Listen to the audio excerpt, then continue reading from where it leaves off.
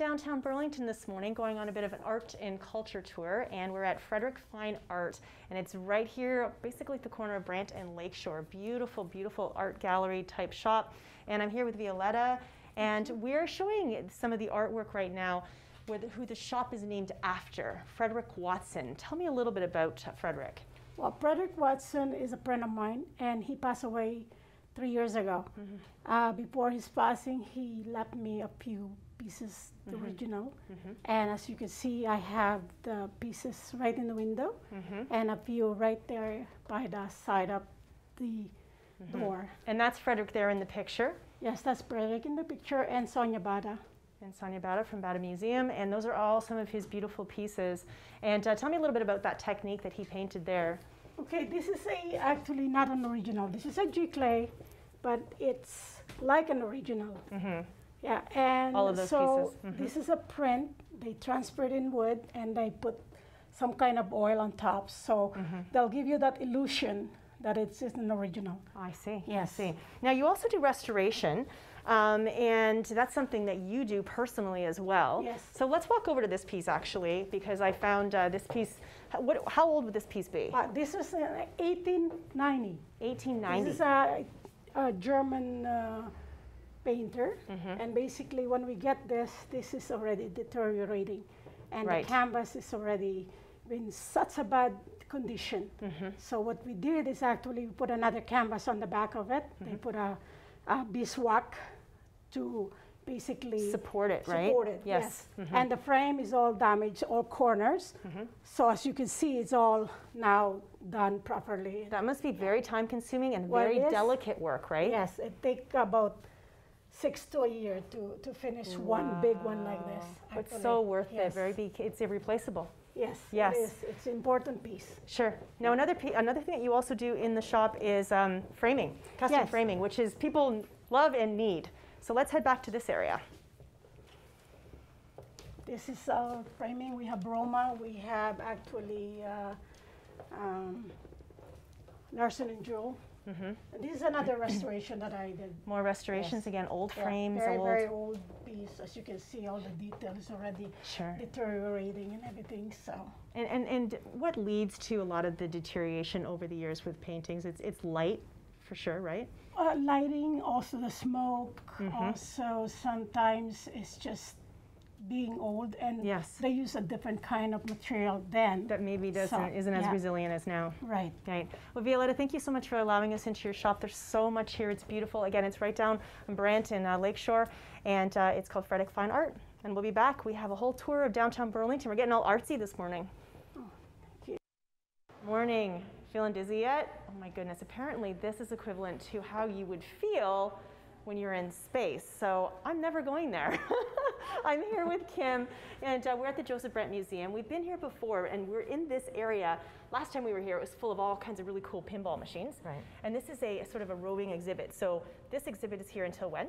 Till September the 18th, mm-hmm. and it's all about health and space. So looking at astronauts and how they get chosen to go to space and then everything they have to deal with and all the training mm-hmm. that they have to do leading up to it. We can't even fathom what they actually go through, right? We only hear little tidbits. Now, this particular exhibit talks about their bone density. That's right. So, looking at the amount of time you're in space and what that actually does to your bone density. Mm-hmm. So, a lot of things in the exhibit are tactile as well. Mm-hmm. So, this you can feel it. Mm-hmm. And it shows um, before the space mission. Right. And then the next one, if you touch okay. it, it, you can see the spaces of loss. Isn't that something? Mm-hmm. And then they're doing tests after they get back to see does that come back? Right. And how does that relate to osteoporosis? And so I think the space, it also looks at health Sure. And diet and nutrition is absolutely. such an important component when they're up there. Definitely. And isolation as well. Isolation? yeah, we've all had a little bit of the haven't isolation in the last year and a half, haven't we? Yeah. But it really is. It's your mental condition. I mean, this, these these guys and, and, men and women go through a lot. That's right. And let's talk particularly about this week. I mean, they, I like the sign says he's a Canadian All-Star. So tell me a little yeah, bit about him. So David St. Jacques, he's actually um, one of the astronauts you don't hear a lot about. Mm-hmm. But he is a he was a doctor, an engineer, an astrophysicist, wow. and he was chosen out of two men out of over 5,000 to apply to become. He can he can work the Canadarm2. Mm-hmm. He can spacewalk. He's a doctor while they're up there. Wow. So, and that's the thing, these people, they're so well versed in, in multifaceted. Exactly. Right, when they're up there. And it's just because it is not a, a simple task. No, it's not. It's not just like flying in an airplane. no. so this, this exhibit is so interactive, which is always nice. Um, and you can kind of weave your way all the way through and really learn a little bit more about space. But also, we can't forget, this is the Joseph Brant Museum, but it is about Burlington and the history. And I love going into this area. This area is always here for people to come and check out. Yeah, people love this. A lot of visitors, um, you get a lot reminiscing about their parents at the Brant Inn or their grandparents at Brant Inn. So yes. we capture all those stories as well. Because mm-hmm, the Brant Inn was right here on the water. That's right. right. And a lot of people, the, the famous, famous singers, performers that were here, people loved to dress up back in the day in the 50s and 60s. And um, that's why we have the costumes to show the, the times.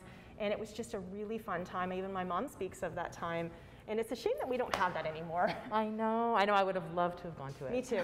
Me too. If we could just go back in time, right? So this is again right here, downtown Burlington, right off the water, uh, just down from Spencer's here. And uh, this is the uh, Joseph Brant Museum, and there's so much to see and do. If you want to check out the space exhibit, it is here till September.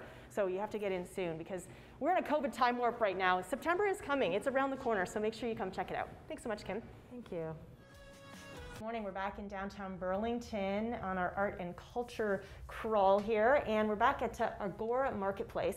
This is down on John Street here, just by Lakeshore in Burlington, and I'm here with Ali, the owner of this really cool, eclectic, fun, artsy store, and we're just looking at some of the uh, blown glass, which and is very, glass. very, yep. very special to you.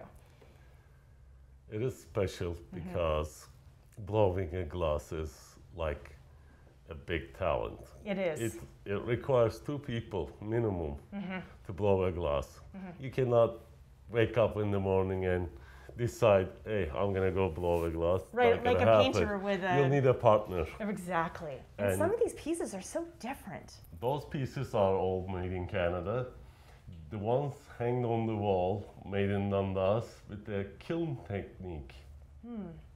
Nice couple, Angela and Fred they are the residents of Dundas. Mm-hmm, mm-hmm. The arch piece is created by Lisa Getz and Tom Cudmore. Mm-hmm. They are the residents of Oakville, and they blow the glass in Georgetown. Mm-hmm. Also, they compete internationally Wow. They don't have time for that, but I do that part for them. Right, of course. I send the pieces sometimes. Oh, do you? You do it for them? Oh, isn't that? And I mean, there are some special pieces here.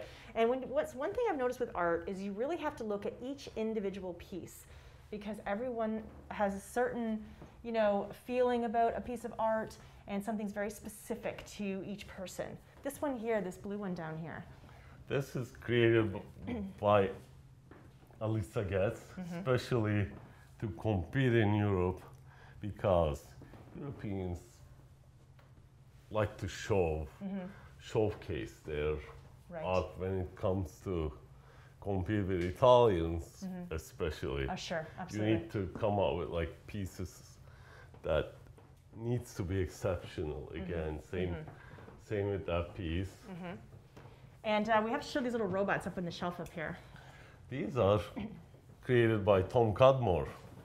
Actually, one of the robots went into the competition and got into the final. Wow.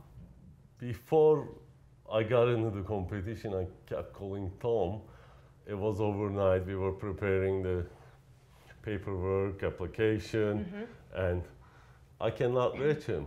I have to name the, you know. Name the art. i have to name the art. And I go, freezing Tom. Oh, oh, did you, what you call We're walking through your store. There's so much to see. This is another artist over here. You said she can paint pretty much anything. She can pretty much paint anything. That's one of the one of my favorite painters mm-hmm. because she can she can basically cross the border. Mm-hmm. She can so paint anything. Faces, right. animal. Right. She can paint on a mug. She can basically paint on anything. Wow, the talent. And there's just so many pieces to look at in here. Um, you also have a lot of crystals. People love crystals. And, uh, you know, crystals are very special. They have a lot of um, significant powers to them and, and in beautiful jewelry as well. Well, how would you like to wear these shoes to work one day? I'm here at the uh, Art Gallery of Burlington where we're finding our tour here. We're ending the tour of downtown Burlington uh, at the most perfect spot. I'm here with Suzanne, and you're the senior curator for the art gallery. It's nice to be back in here again um, during these tough times, and we're in one of those most, most beautiful exhibits, so bright and colorful.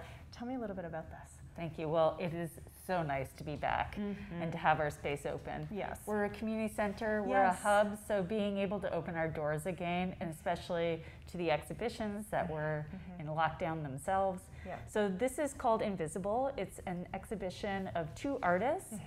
Uh, Mira who did the paintings, mm-hmm. and uh, Marina Dempster, whose shoes you see here now. It's curated by Hitoko Akata, and the work really looks at um, fashion.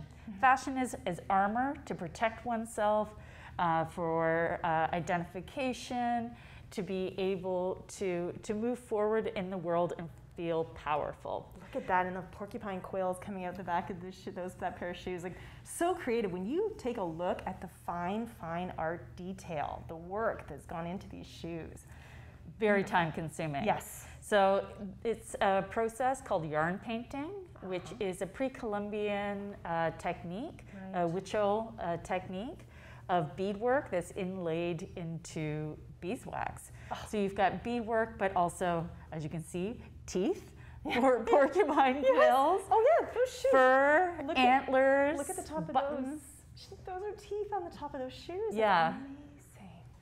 And as you said, it would be nice to be able to wear a pair of, of these other than the fact that I feel like I've given up heels now. Yeah, I know, right? It's yeah. just like, eh, especially after Old being uh, out of heels for a long time. Yeah. So tell me a little bit about the paintings themselves as well. Again, it does, the exhibit really goes nicely together because of the colors. Yeah, so it's really big, bright pops of color, mm-hmm. but it's looking at uh, the fashion sense and the streetwear of aunties, mm-hmm. where Mira was looking at her aunties and seeing the like the pattern mashup, mm-hmm. the cultural mashups that were happening every day in the street and using them as inspiration. Oh, I love it. It's beautiful. And it really is nice for, for us here in Canada to be exposed to this, right? To really see, um, you know, how other people live and, and some of the beautiful colors and textiles that are used.